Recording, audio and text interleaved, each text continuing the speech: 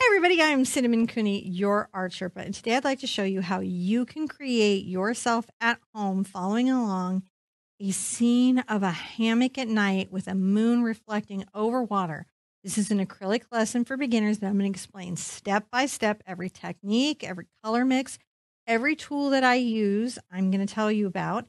To help me do that on the mic is my husband, John. Hello, guys. He's going to make sure that you can see all the techniques that I'm talking about with one of our cameras. He's going to zoom into the action, make sure you see the brushstroke, make sure you see what's happening. Also, to help you with that, if you check the description below, is a link to our website, theartsherpa.com, for this particular video page. And on it is a traceable if you're not really into drawing, which, by the way, is completely okay. Mhm. Uh, there's a grid reference if that will help you kind of understand where things are laid out and measured. And there's also a written out step by step instruction book, a mini book that's available to you that you can download to help you. So there's tons of resources there.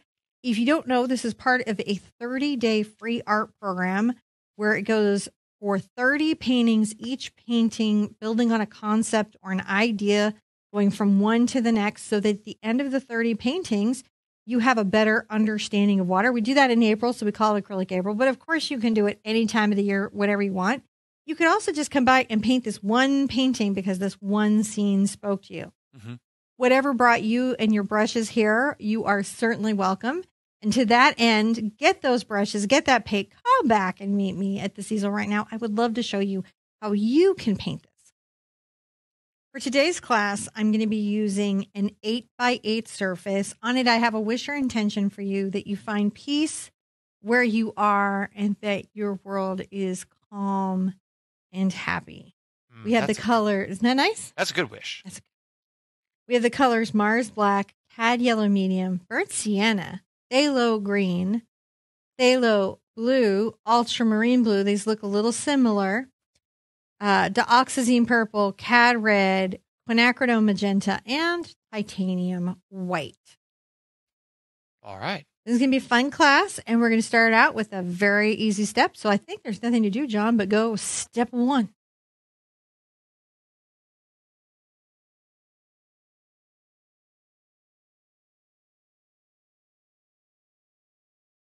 For step one, we're going to divide up our canvas into the zones of sky and water.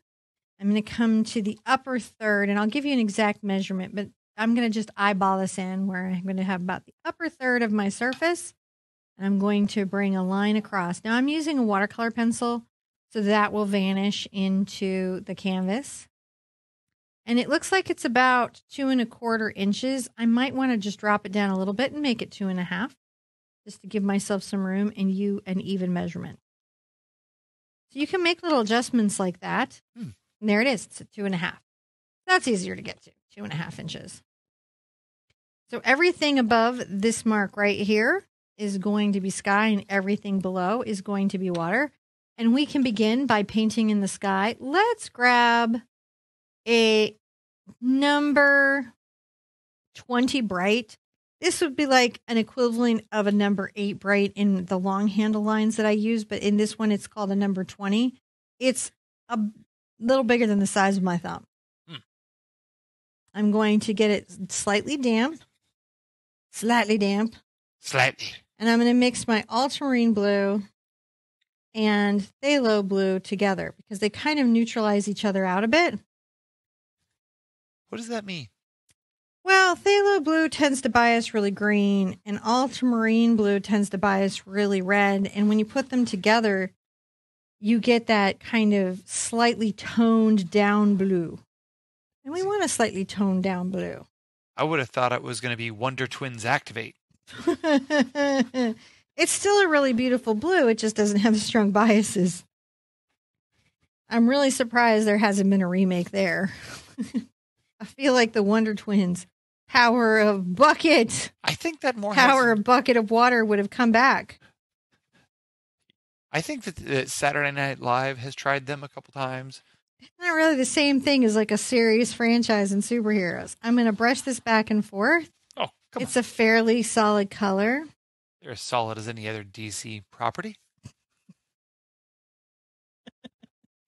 Now at the horizon, I'm going to come in with just a little bit of white into my brush. And I'll go ahead and work that in.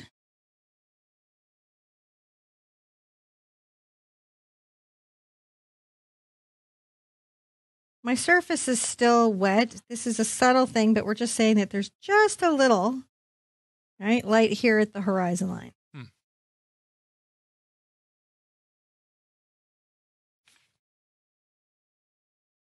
Sometimes I turn my canvas just so I have an easier time with the brushability. I'll blend that up. It's a little subtle thing, but it will help our moon kind of show out when it gets there, and we'll appreciate to have it. Let's call that step one.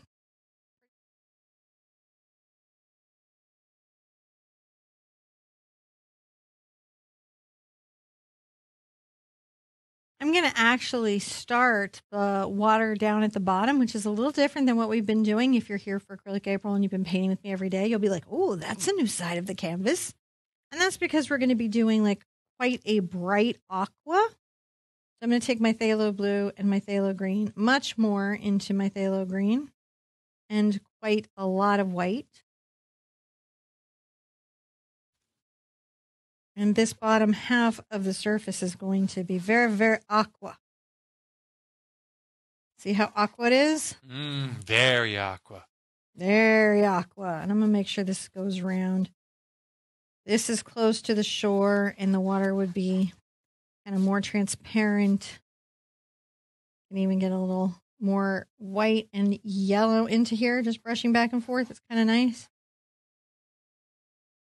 Looks good. Now, rinsing out, I'm going to come from the top down into it and see if I can blend in. I'm going to grab a little of my dioxazine purple, my ultramarine blue, and my phthalo blue. So just like the sky color, but we've added purple. And I'm going to come along here and try to make a very level line, as level as I can mm. make it, which is why I've got my canvas slightly turned. And that's because it's the strong stroke for me. Now, if you were not level confident, I you- would use tape or T square tape. I was going to ask if I could Tape. because you can use a low tack tape. That gets to be a little more fraught with peril if you're doing it on paper. You've really got to pay attention to your tape, your application, your burnishing if you're doing it on paper.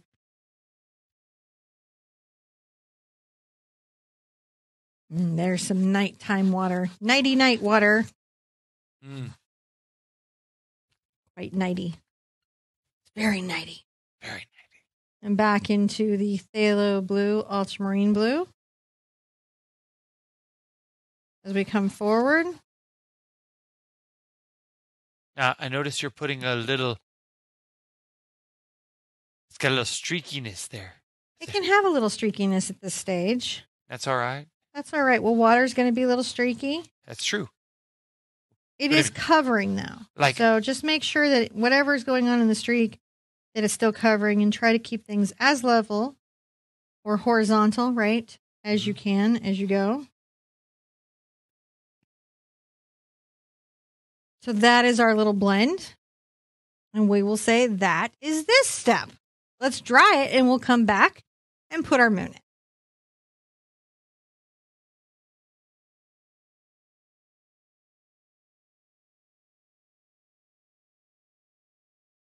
Now we're going to place a moon in our calm and serene sky. I'm going to put it a little bit above the water and more centered. I'm going to make it about the size of, I don't know, is this a dime or quarter? I hmm. haven't looked at metal money in so long. It's like a nickel. Is that where we're at? It's a little bigger. The dime, smaller than a quarter. This is going to be our little moon. When we know where that is, we're going to take our, I'm going to take my half inch angle brush and I'm going to grab a little white into my sky color.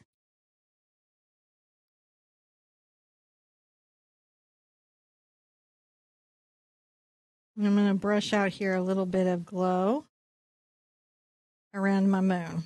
Mm. Just a little radiating light as you do. Kind of coming up above.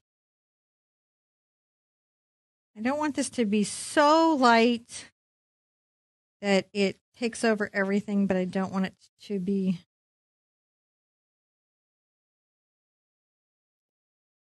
invisible either, just like a little bit of atmosphere. Yeah. Right, so we're going to have a little tree holding this. While this is having a dry, let's take a little reflection down our water.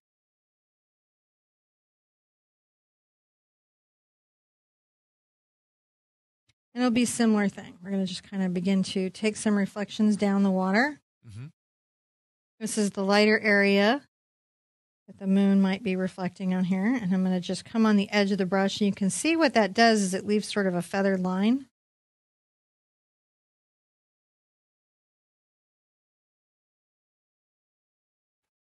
That angle brush does some neat stuff.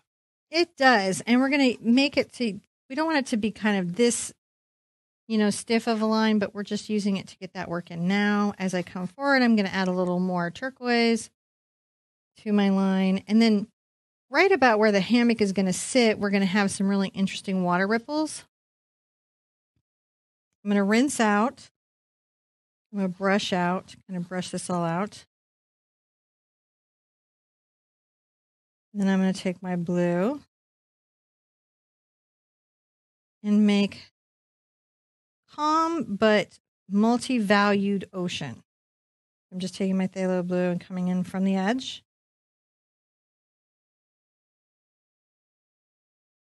These are like little waves. And I'm trying to make this little edge uneven.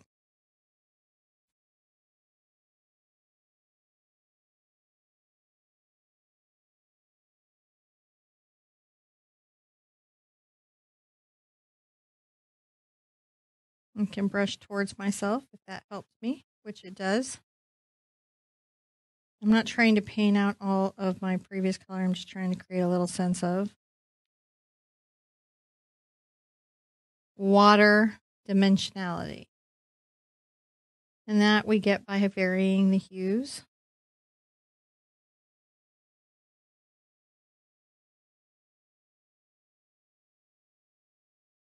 It's just a start.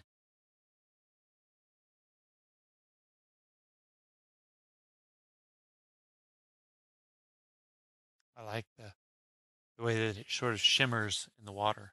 Yeah, we're just making it shimmer and we want it to be a little bit uneven. It's just the beginning of a thought of something. Let's call that a step and come back and put it in a little more detail.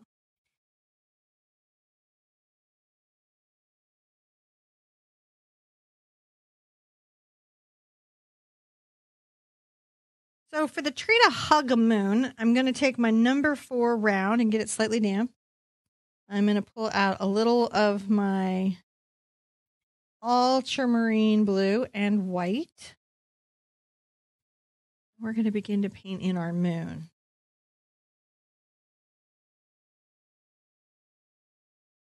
A bright moon tonight.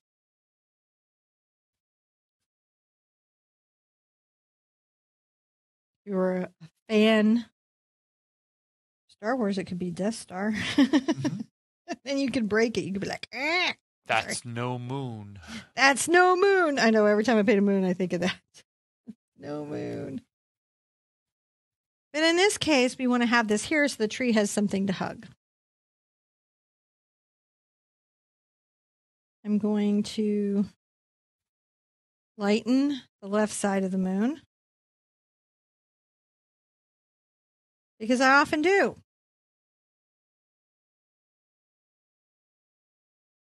A little more white. Kind of just trying to talk about maybe the the surface being somewhat rough. You can always get a little of your black and blue into it. Mm-hmm. Make some darker craters. I'm going to tap my brush up and down.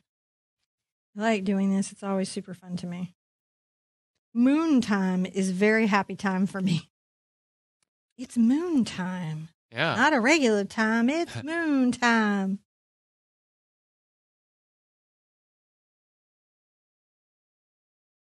Got to make sure it shows all the way around. Mm-hmm. The moon glow. The moon glow. I also need to make sure that it's not lopsided because the universe tends to make round objects that are fairly round out there in the space Mm-hmm. Because you know the meteors and things. Now I'm going to take a chalk pencil And I'm going to start to sketch in some structure of the tree. That way, when the tree comes to hold the moon, hmm Tree holding moon. yeah, I know how far out and everything I want this tree to come. And I really want the tree to come out and look like it could sustain and hold a hammock. Mhm. You could use the traceable, though, at this stage or the grid if you're not confident just freehanding a tree in on your canvas. That would be a really reasonable decision to make. And we do provide those. Uh, if you check the description below and you go by the website, you'll find traceables, you'll find a step by step mini book, you'll find a grid, and lots and lots of resources to help you. I don't have to do every branch at this stage, I just need to do enough of them to know where the tree is going. Like if I know some of that tree is going to hug there, and then maybe I want to a little branch out here, and maybe a little branch coming here, as they do. Trees like to uh, try to find different areas of light, so it's good to give them some sources. Now, this main branch is where my canvas is, so I may take, you know, I may kind of exaggerate it out a bit and bend it. Yeah. So that the hammock has something to kind of really grip to. And now we've got a hammock that's going to be tying here, and it has to be believable that the hammock could be here and it's going to come off around here. So if I tie my hammock here, I love, I love my like totally like this is where it is, but it is where it is. Bring a little line down. The reason I sketch out my hammock somewhat early, Yeah. is because it lets me know where in the ocean I can, bo- you know, I'm going to bother to put in a lot of detail, and where I might not need to bother to put in a lot of detail, because the hammock uh, will be blocking it. Oh, well, yeah.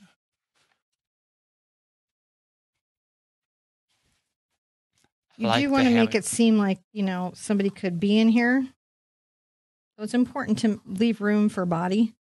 I know that sounds Mhm. pretty grim, but you need to leave room for body in your hammock. Little rope coming off there. And then kind of what I mean by that is here there should be a bit of a scoop Mhm. that comes around in perspective that says if somebody was in here, this hammock would would cradle them. So now that we have that, we kind of know where everything is going. Mhm. You can plan other branches before you, you know, get into the black paint to freehand them all in to say other things are happening perhaps here. It's important to make sure that your branches look as if the world has impacted them. Mhm. And if you struggle with doing trees and you're wanting to do a freehand, just a little thoughtfulness at this stage can make a difference. Remind myself I probably want to kind of put like a, a break or something there in the wood. Now that I know where all of that is, I can come back and put the shadow under the hammock, different parts of this in, or come in and paint the tree and stuff around it. It really is at this stage, I can make those next decisions and get on to the next step.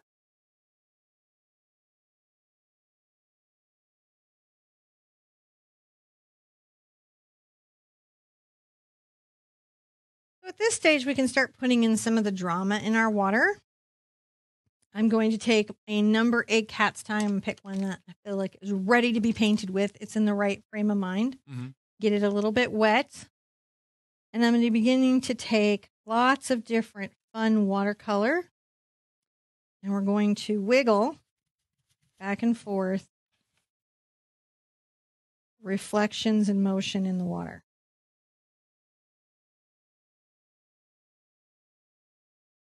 Now, there is a shadow that absolutely will be under the hammock. Mhm. So it'll be important to make sure that we show that.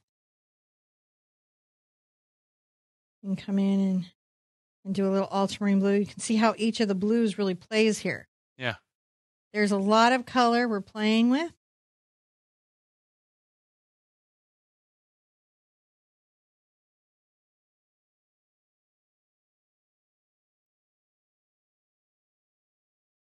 And the water here is in motion. Rippling. Not churning, not scary. Yeah. Rippling. What you might expect if a breeze came down and and hit it. Mm.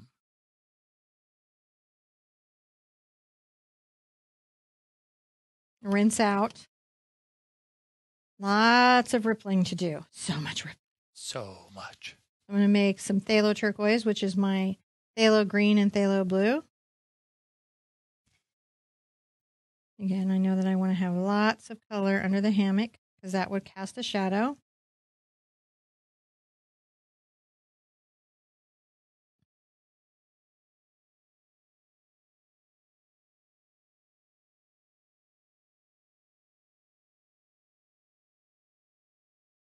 You know, up front, I'm going to be more in my greens hmm and yellows, and then, you know, I might pull back more of our darker colors back here, but they will need to weave in together somewhat. The way the water will want to cast light. hmm I'm just wiggling this back and forth, and it really does create a Oh, lovely man. motion, doesn't it? It really does. I like the color added into the waves.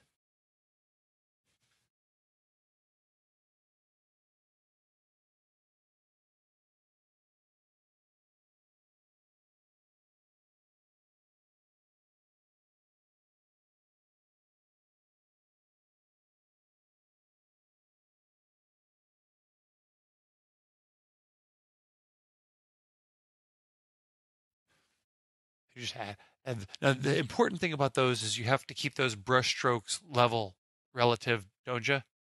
I try to I try to do this thing where I'm zigging them and zagging them, but also not letting them get to a diagonal. So if you'll take a moment and notice this line, none of these are particularly diagonal, Mm-hmm. and that's what's really important. I wouldn't want to go across here like that. I would definitely want to keep these more towards the horizontal. It's a good idea to also take them past the tree, just to show that there's something happening there past the tree, and come back into my phthalo and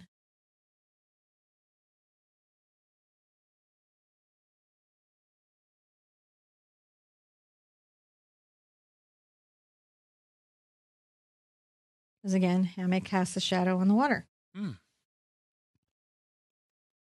That's pretty cool. Yeah. So that's really what we're going to do there.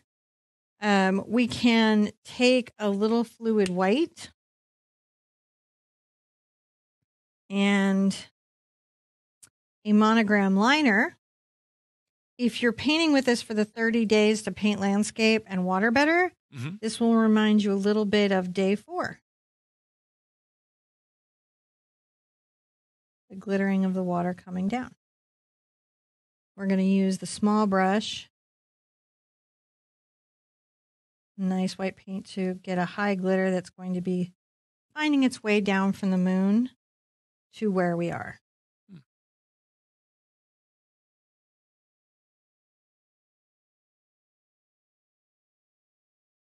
We just take our time. Yeah. Dotting and dashing. Little ripples.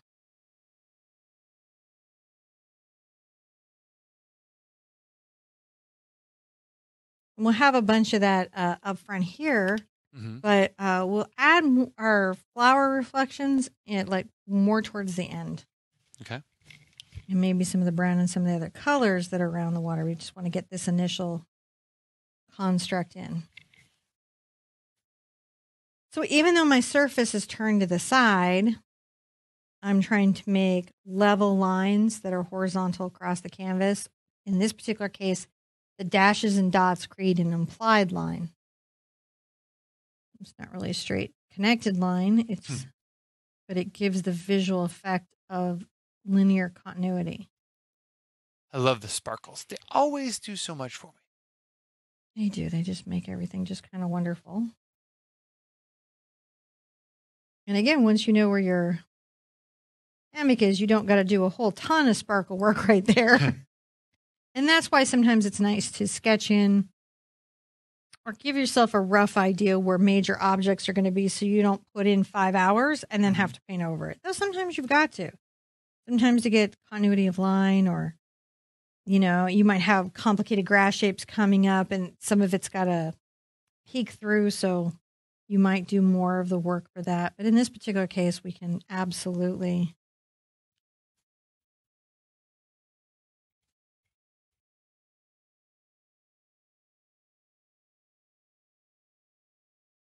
not have to worry about what the hammock would be blocking Right.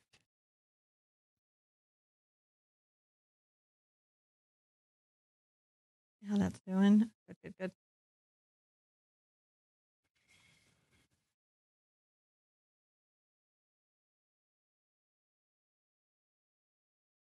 Now there is light and stuff rippling around this water, but it's churned a little more, so it will be a, a bigger.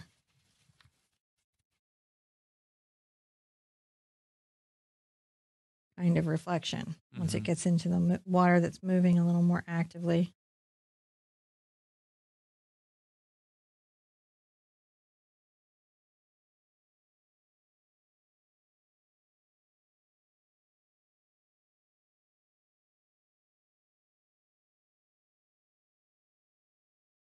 There we go.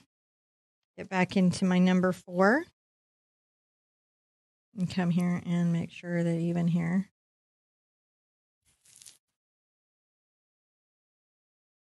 Sparkle, sparkle, sparkle. There's a little sparkle sparkle.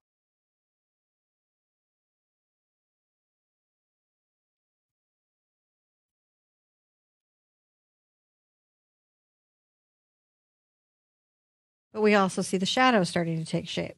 Mm-hmm.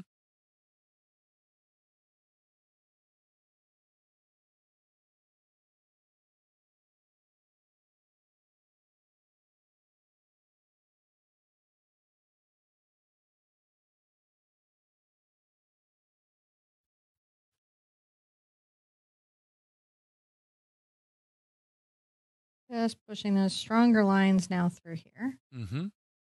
around what we've got going on.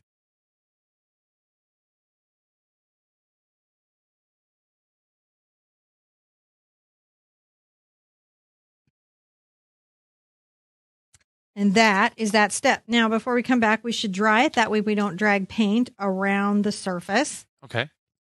And we'll come back and start adding in maybe some tree object.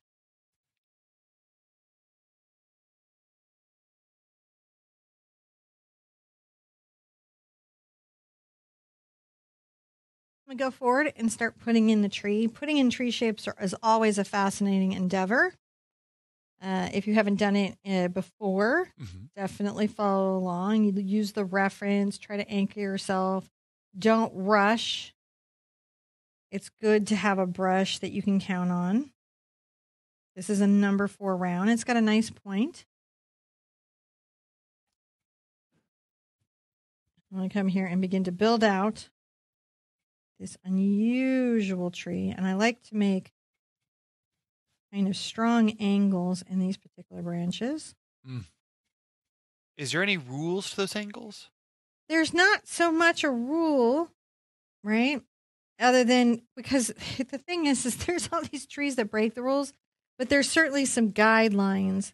Um, if you've ever pruned uh, plants, you'll know that certain joints tend to uh, be more likely to make a branch, Mm, which okay. is why you would prune them. So that experience, if you have that in gardening, can actually really help you here. What I find is I try not to make um, the three prongs, which I don't really have a way of demonstrating here, but it's where you just come out three prongs like a pitchfork. Hmm. You know, and that can be pretty tempting to make the three prongs. As one might.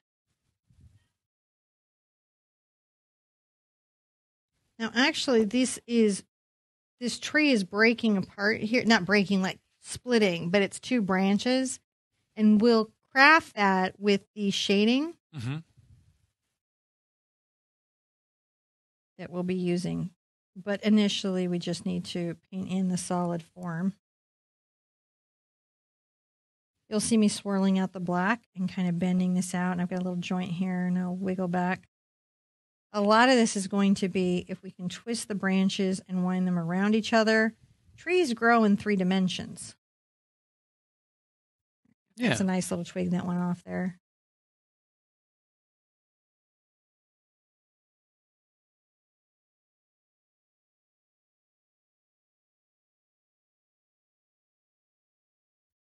So being able to capture that kind of feeling of trees growing in three dimensions can really help them feel alive. Mm-hmm. Plus, we get to do this really great tree hugs the moon event up here. Like if I want to spend some time up here, even before I connect the branches, Mm-hmm.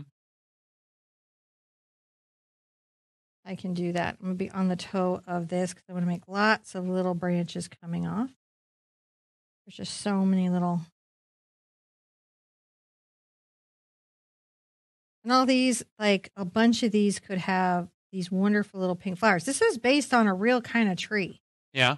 Yeah. I don't know what it's called, but it's a real tree that grows near the coast, I believe, in the Philippines. Hmm. So if That's you're from there and you know this tree, If you know the tree, tell us what the tree is, and maybe I'll paint more of these trees. I'll like search them by uh, name.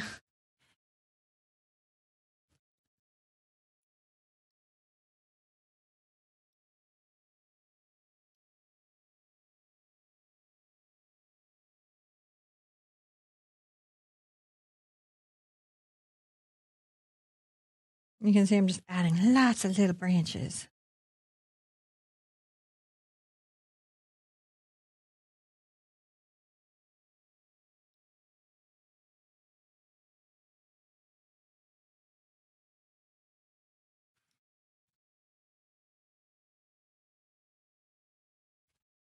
I love the the the creakiness of the tree. Is that how you say it? Yeah, it's got crickety branches. You want to make lots of crickety, crickety branches. Might extend this one out and make it a more stable kind of branch. I want to make it longer and more. Look at me. So your branches should be thinner than the branch they're attached to. Your tree gets ever younger, ever skinnier as it grows out. Mm.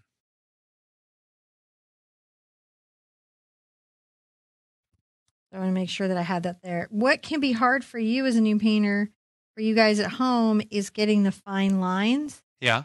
And that can take a bit of practice. And I literally mean that. I mean, like, pull out a scratch canvas or a scratch piece of paper and practice with the brushes that you have and the paint that you have that you're that you can get these fine lines that you're looking to get. Yeah.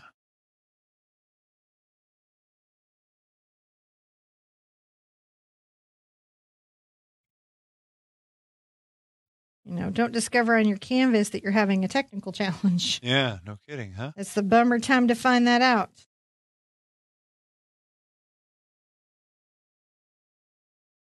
Now, This tree is hugging the moon. It really is. That's what we're trying to paint there is this like kind of opening where the tree is hugging the moon.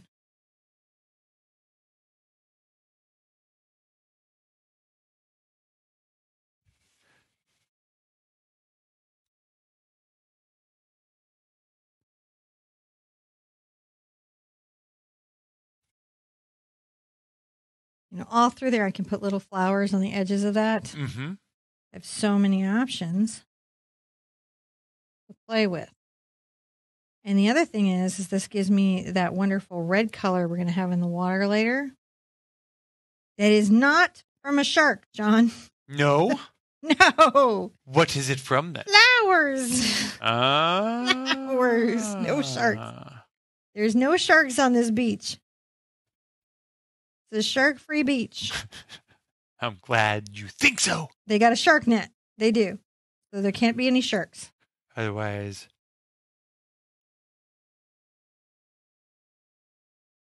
you know what happens? What happens? Just shark bait. No, like oh, like the net is like you. When you look at this, you just think somebody's feeding sharks. I just think that, you know, hammerhead shark's going to come along and go, What's that? That would be such a bummer. that would really ruin the vacation, wouldn't it? It would, man. So I'm like, yeah, no.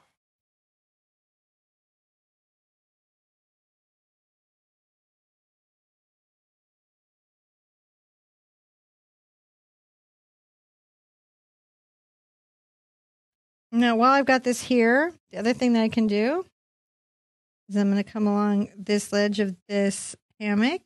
And the bottom side, I'm going to do in a dark color. It's it's shaded.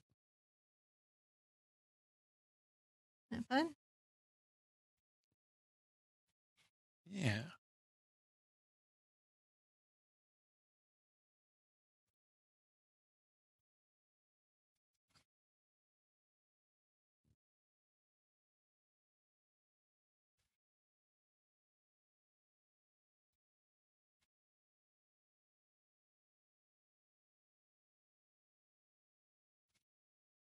Mm, that's a little silhouette of that.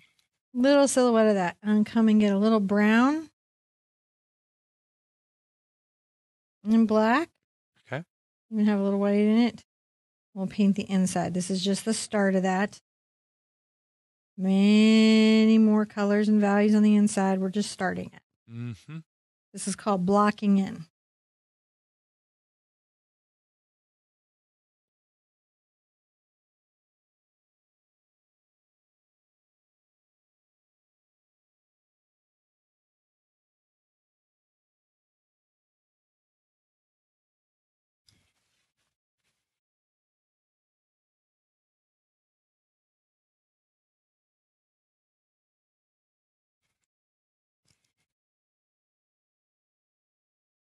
This is me getting the turn on that. And so I see right there, right, Yeah. where I'm going to want to come back because I got a little hole in my sparkles. I'm going to get rid of my chalk with a wet brush.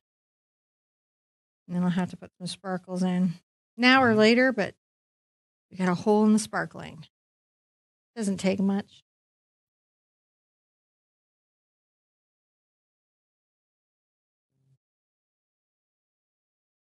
All right, dry it. Yep. Come back and we'll start to add some detail.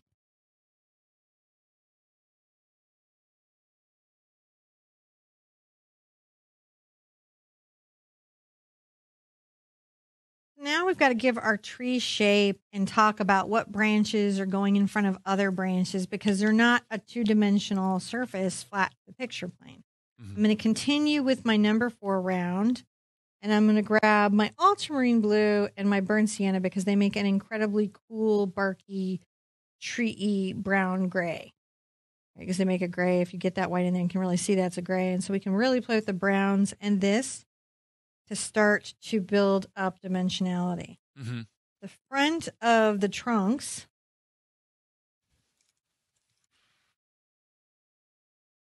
will definitely have some more Light reflecting on them. Yeah. And so we're going to be playing with that here. Playing with the bark. A little more brown in it. Tree, any tree that could weather itself out by the ocean's edge Yeah. is a tough tree. Not a faint of heart tree. Mm-mm. Bark is rough, so I'll use a kind of rough brush strokes to express it.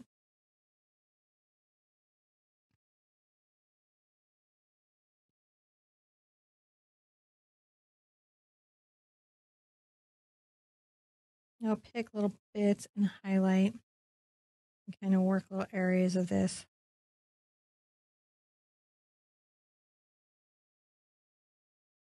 And we start talking about this tree and its little tree personality. Yeah.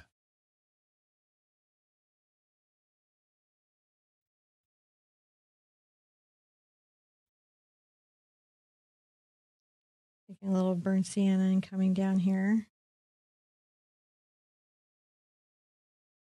I can always roll out.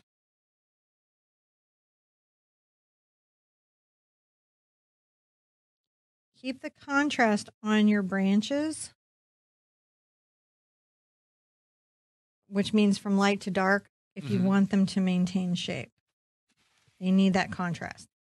if this branch is going in front of the other ones behind it, you just have to continue that line on. If this one goes behind it, you continue the line like that, going behind the branch. Wow. That's how we're going to weave the branches in positioning to each other, is by where the line continues.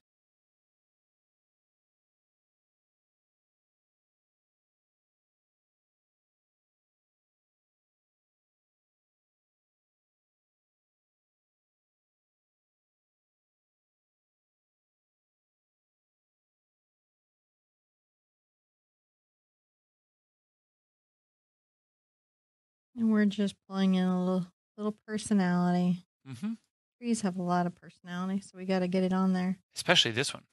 This one, yeah, because it's think about it, it's living near salt water.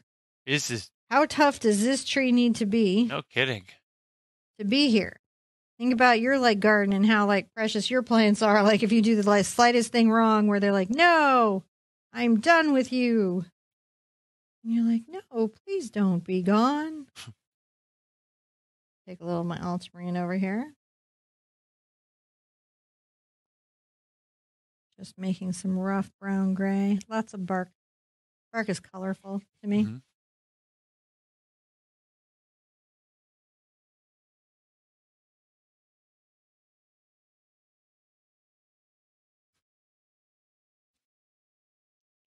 Then we get to put flowers on here too. I'm so excited.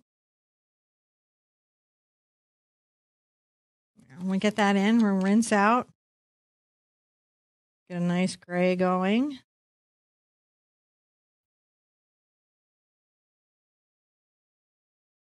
And I may kind of turn this a little bit to the side so I can kind of see it. Well, you, you'll find that when you're painting, sometimes there's a glare Mhm. that you've got to work around. And so that's what I'm doing there is I've got this glare. I know I want to work around. I can see it. The camera because I have two cameras ang- two camera angles. I can see the stuff. Exactly. Now I'm going to come grab a little bit of black.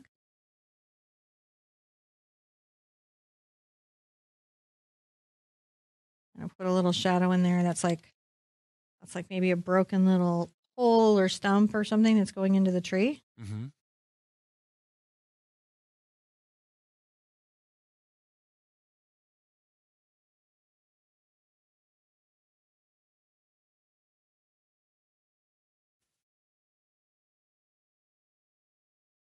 Bring little highlights there, little gray highlights along the branches.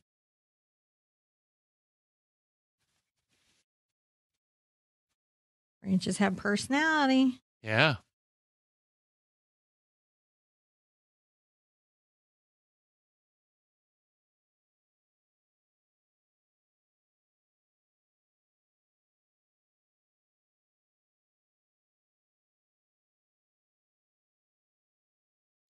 We're going to paint a little personality in the bark. Really think about what it is. I like that. It's fun.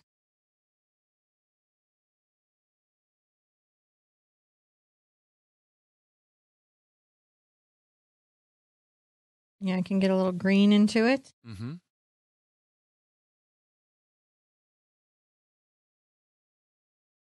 And that really pulls it into this ocean space.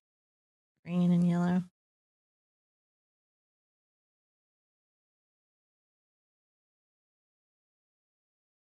Creating a barky, barky little tree. Yeah, it does. Marky Bark. a tree cousin of Marky Mark.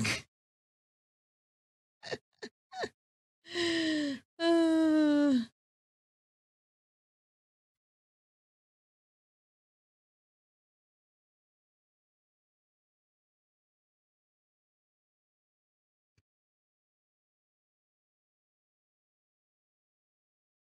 It's just really dry brushing this through. I'm trying to make rough brush strokes that allow the paint that shows through underneath.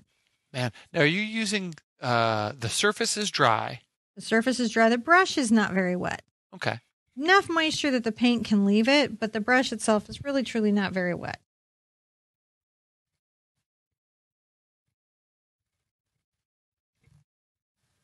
a little more yellow and white. Get that next layer of highlight, right? Yeah. Not everything, just a few places. Wow, this is amazing. I like the tree a lot.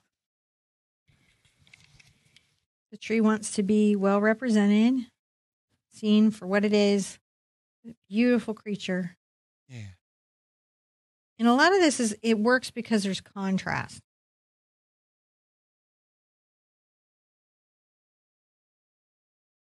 No, it works because we're contrasting things. We're saying, hey, there's this kind of magic stuff happening here, and you can see it.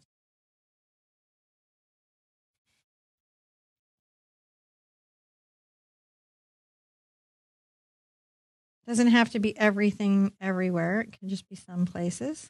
Yeah. Because we're also going to be putting those flowers in. Mm-hmm.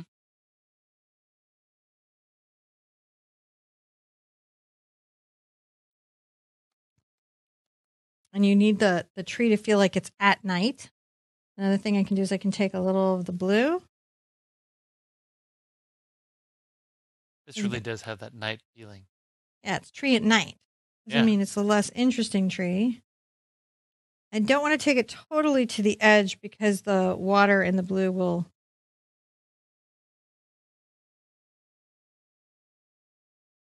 seem like they're too close. But that's Mhm. kind of a nice thing that you can do as a little blue. And you even get a little violet.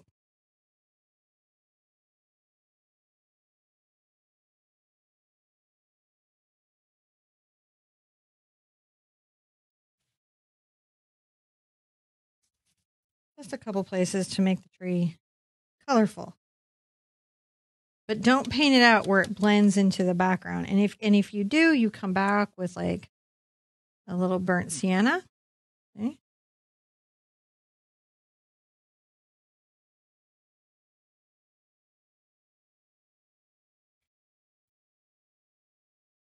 You can just layer up trees, especially this kind.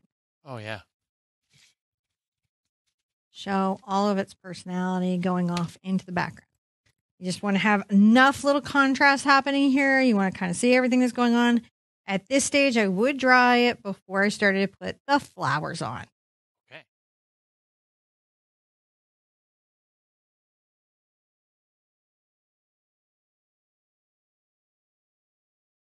So we're going to add a little color to our tree and make it fanciful and fun. I'm going to grab my number four round again and mix a little of my cad red and quin magenta together, half and half, one part to one part in equal amounts. I really like this color mix. And then I'm going to take some of this color mix into my diox purple for shadow.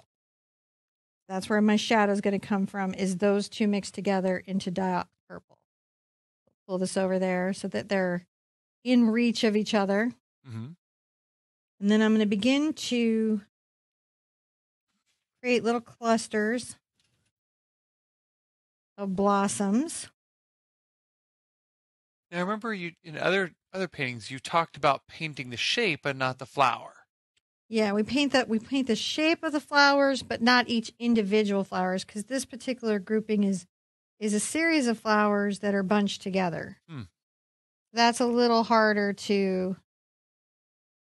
just just you know try to paint every single individual flower, and it really wouldn't look right.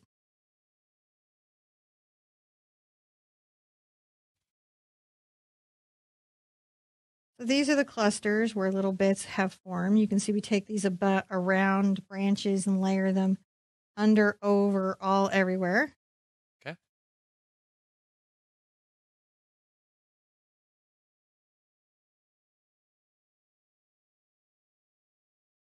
That was one of the things I thought was super exciting about this particular tree is that it had such nice clusters of flowers on it, Mm. which you wouldn't expect to anything that lived this close to seawater.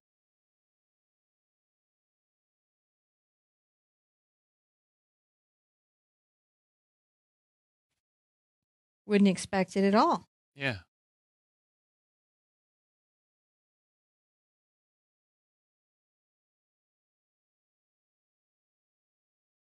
like clouds, you got to just sort of think about it. Some of these should be smaller. Another good thing to remember is that sometimes you'll see the branch that flowers are attached to, and sometimes that branch could be so tiny or in a perspective you wouldn't see it. Mm-hmm. So that's an important thing as you're adding flowers to your tree. But you don't want to paint out all your branches that you have. Once you get your dark color in, you can kind of rinse out and come back into your cad red and quin magenta and begin to put a bit of a brighter little spin on it, right? Yeah.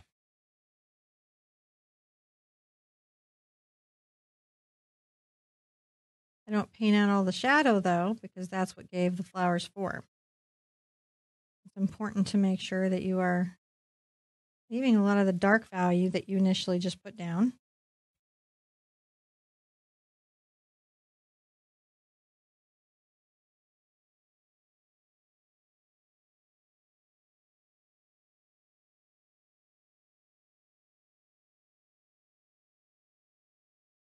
Cad red and quin magenta make a very bright color combo, I feel. Mm-hmm. Uh, They're like a tomato rose. It's really neat. If you didn't have these two, you could probably do quinacridone red and get a similar result. I, li- I like how pop this red is, though. It does just pop, pop, pop. I think Ruby Rhod would be proud of this red. Mm-hmm. For sure. It's super green.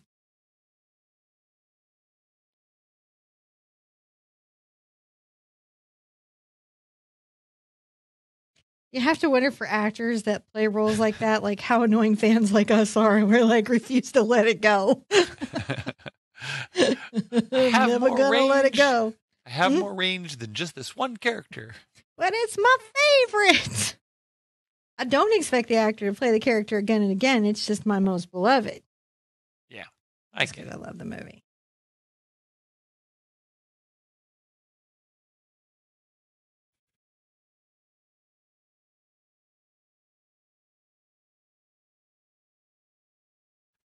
All the little flowers. When you go through and you have that, you can put a lot more magenta into this Mm-hmm. and then bring over some white. And you get kind of an interesting little pink going. Sometimes I even get a little yellow into that pink.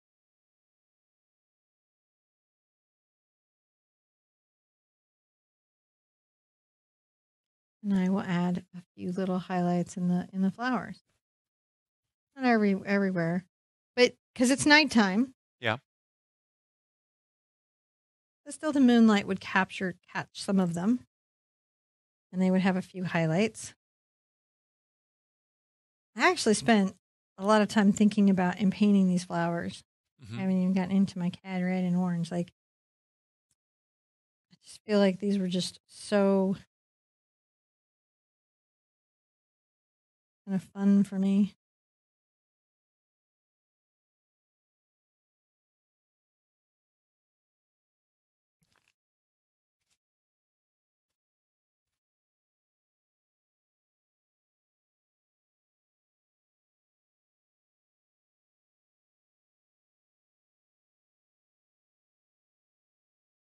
Look at that and be like, you know, what do I think of that? And then I think maybe, what if I took a little cad red and cad yellow, Mm-hmm. kind of also.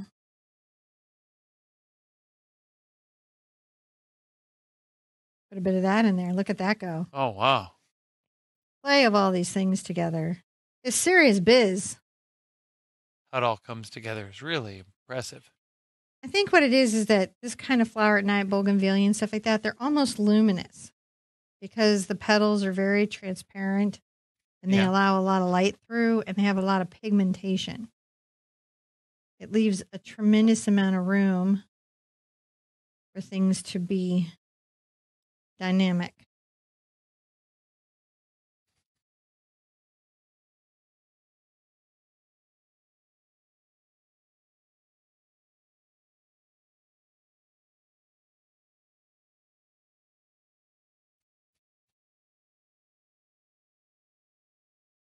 And while I'm here, I can take some of these different colors, like my dots and my reds, come underneath. And then add that undershadow. Well, sometimes things that are above, they, they would reflect in the water, wouldn't it? And that's you can use that red for a darker color for like a darker shadow and not get into the blacks as much. And we just, and we haven't. Not that there's anything wrong with getting into the blacks. And again, we don't want to make it look like a shark in the water. You definitely want it to feel like Right. it's just the flowers reflecting in the water. And when we're like right before we're all done, we'll put a whole bunch of flowers in the hammock and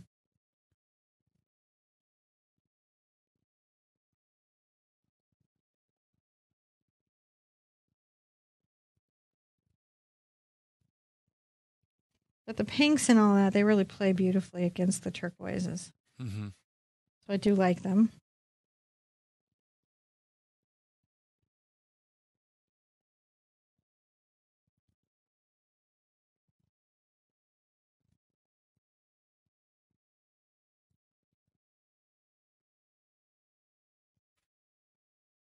Oh, lots of those colors there are nice. Because it's under the tree. hmm All right. That's a step. When we come back, we can start to paint in the hammock.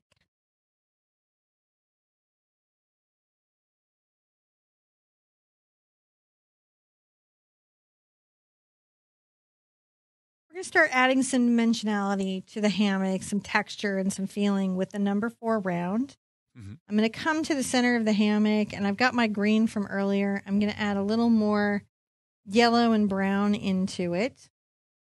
Kind of grays out. We're going to come right here. Begin to paint this lighter area. This is almost like an ochre. I'm going to turn this just so I can see this well.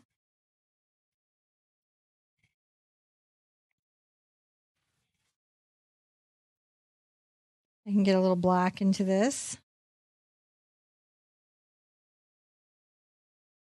Along here, it's kind of like a gray, a different kind of dimensionality. And I'm going to brush across. Start to Oh, yeah. apply some texture. A little bit of it. And get a little of the brown and come back. There we're done. hmm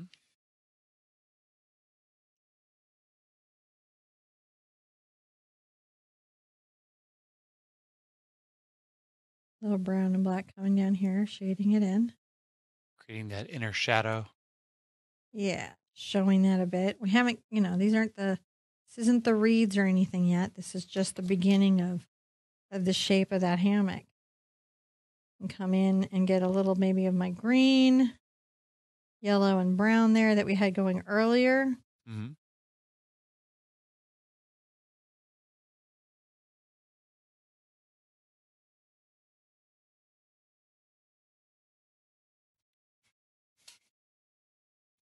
Of this interesting little kind of color inside. Really rather a lot of fun. While this Yeah. is having a dry, it needs to have a bit of a dry. I can come to the outside and maybe get a little of our burnt sienna and ultramarines. You remember that makes all those fun grays. Yep.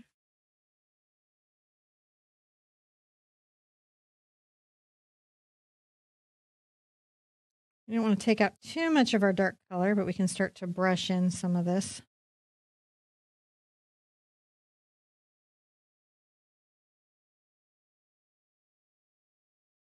A little bit of our ultramarine, just making little short brushing motions. Kind of fun. I can deepen the fold of that a bit. Oh yeah. And come along here.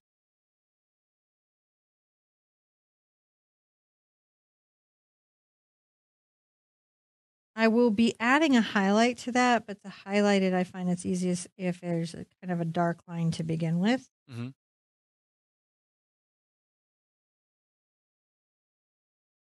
Making sure there's some nice structure there. While all this is having a little bit of a dry, one of the nice things that we can do is we can come in and, you know, perhaps get a bit of a light moon color going Mhm. and make sure that some of our tree, Oh, get some moon glow. if it needs it, if it if you're looking and you're like, okay, well, it needs it right there, anywhere that could need it. You know, you can look around in your painting for different aspects. Here in the water, I can be getting a little of my brown and blue. Maybe a little more to the blue.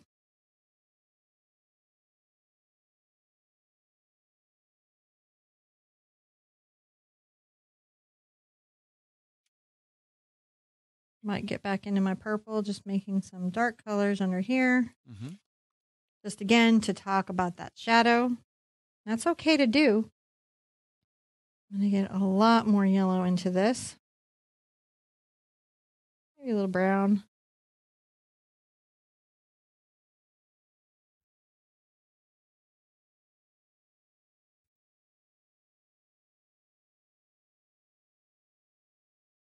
Brush across a little bit of a highlight.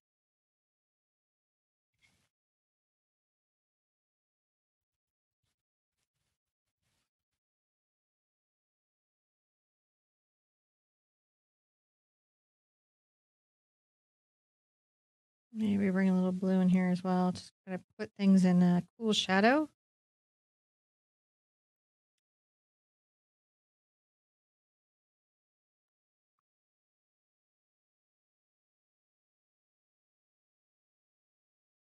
A little brown and yellow.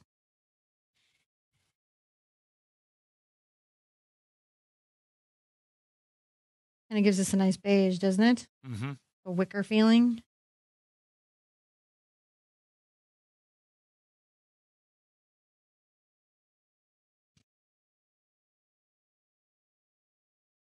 Kind of talk a little bit about maybe a, a braid here. And I'm going to let a lot of the dark color kind of show out so that the braid is visible.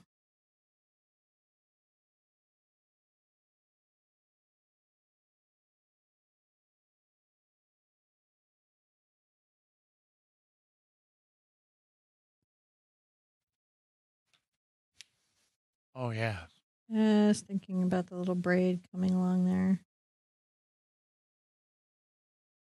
That puts that nice little finishing edge on there. Well, you know, these, I think, based on what I was looking at, I believe this is woven hmm from natural plant fibers. I imagine so. So, I don't think that there's a 3M plant out there. probably not. Add some more little long, kind of grassy strokes there. hmm because we want that to have that feeling. To get back into my kind of very light grassy color.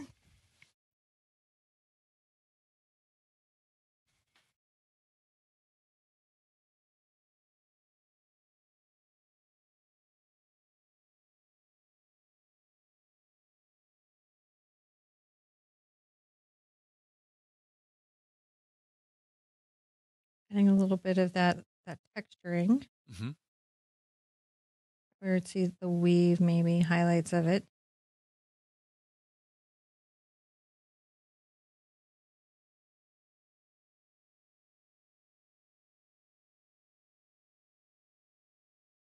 Right. Looking pretty good. Looking amazing. Come in, get a little black.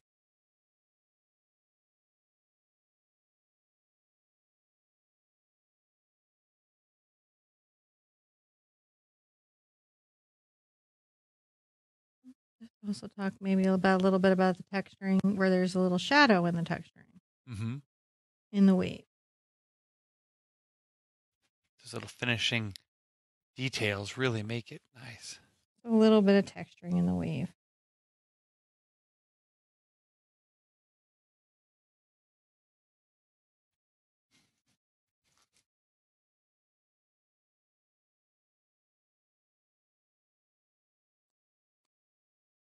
You know, I can take a little bit of my turquoise and a little bit of my white.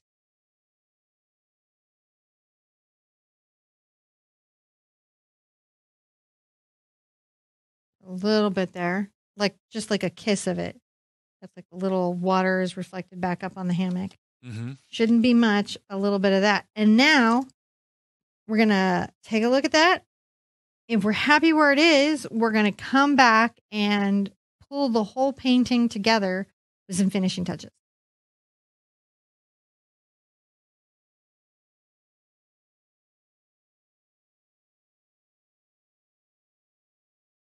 So we can put some finishing touches on this that really pulls it all together and takes it to that next level. And one of the finishing touches we can do is up in the petals. We can add a few highlighted reflections, Mhm. a couple of places, maybe like facing the moon. Oh yeah.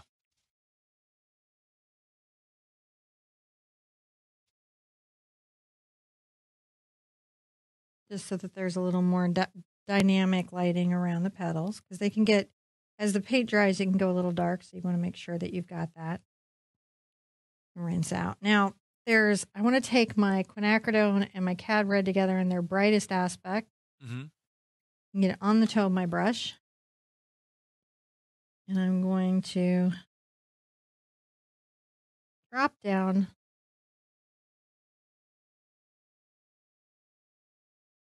from this tree little individual petals Little cascade of petals.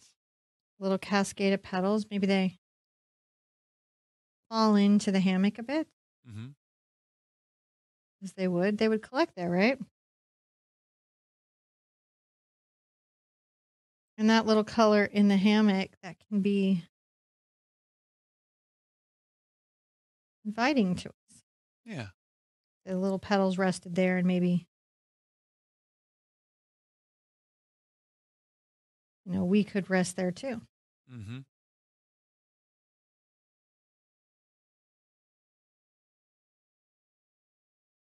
That looks pretty nice. Little petals in the hammock. Then I can take my number one monogram liner, kind of load it in my white. I'm going to do a couple things. I'm going to come along my rope very gently.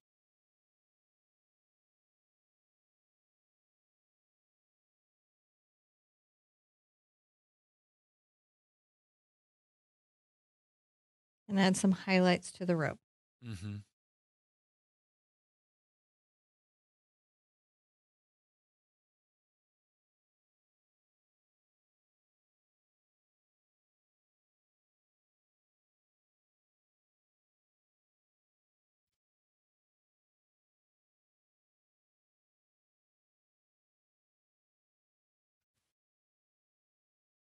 You know, maybe our hammock would have a few little highlights to it too. Those are some beautiful highlights. little dashing highlights going on. I don't want to take out all my dark or take out all the texture I worked hard to create. Mm-hmm.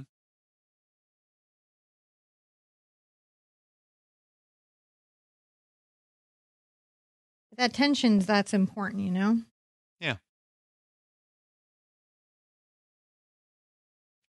I can also highlight a few things around my tree just to help define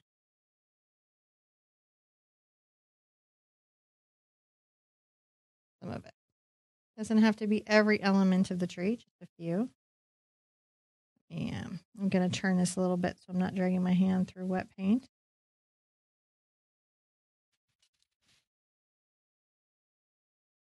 Sometimes things at night have a little bit of a haloing. Yeah. And we can play with that.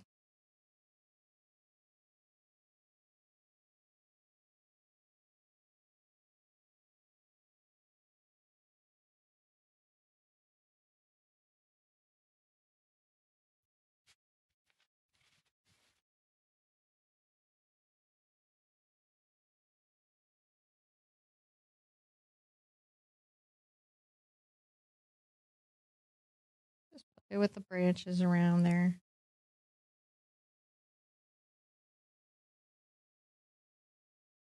To help them show up like they're catching a little bit of moonlight. Mm-hmm.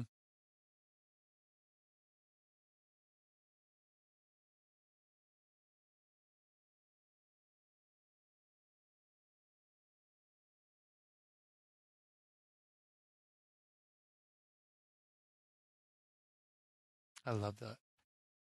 Maybe a little bit catches some flowers in a few places.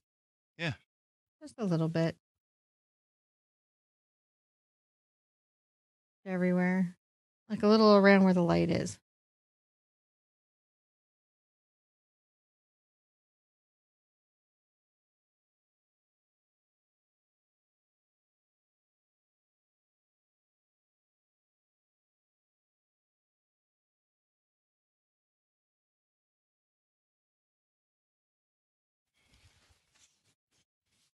Is that moment where you kind of pull a scene like this together and you just want to take it till it feels restful to you, it feels Mhm. serene to you. You can even come in with your uh, detail brush and create small, right? We didn't paint every flower, hmm you know. Maybe a couple of these petals would be a little more defined. Not everyone, a Yeah. few. Just a little bit.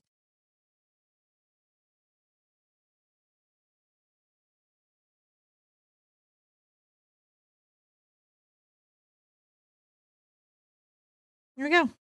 Just wherever you're at. Wow. And as long as you're super happy with what's going on in the tree and what's reflecting in the water, hmm you can go ahead and take your. I'm going to grab a little of my green color because I want it to be kind of a watercolor. And my number one monogram liner. And I'll go ahead and give this a signature. And that is just a nice, calm painting that we can do. It really is. You know, remember, you've got all the support resources that you can check out at the website, and it's okay to use those. They can really help make a huge difference in your outcome. What you can see and what I can explain, you can probably do at home. You just need to have access to all the resources. Hopefully, this has surprised you for what you can paint. And hopefully it also gave you a little bit of a mental vacation. This is like this is like you booked a vacation away hmm from the comfort of your own home. So it can be nice to paint these kinds of scenes because I think they give us a mental restful state. John, Yeah. thank you so much for spending the day with me and helping make sure the cameras are focused on everything and making sure everybody at home can see everything. I really appreciate it. To you guys who joined us today, thank you for your time and trust in coming into this lesson. Really hope your result is makes you super happy and really was relaxing and took you away. If you'd like to share it, please come by the Facebook group, our website, theartsherpa.com, on any of the social media where the Art Sherpa is, and share your result with me. I'd love to see it. Be good to yourself, be good to each other, and I want to see you at an easel really soon. Bye bye.